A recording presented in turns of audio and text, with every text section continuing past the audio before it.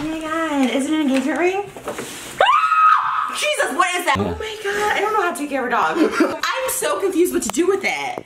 Start doing stuff, I guess. Or like took care of a living thing. I don't think he's gonna like live through the night. What did you just say? I mean, I don't know how. What if it dies overnight? I don't know what to do with it. It's a living thing, babe. Uh, what do I do? Do I walk it? Like, I have no idea what to do with it. or like how to feed it? Like, how do I? uh, Does it eat? Like, oh, His first words.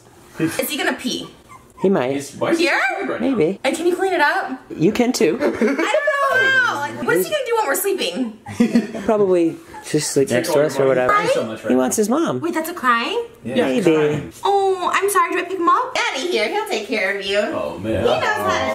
I really thought you and your mom would handle this. I've never had a dog in my life. I just never took care of anything in my life. Like I can't even walk myself. Babe, I don't think we could have a baby. I'd be so scared. I would literally like not know what to do with it. Do you want to come up on here?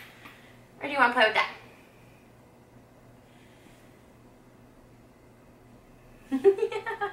you want your little Tootsie Roll? We have a Poopsie Roll.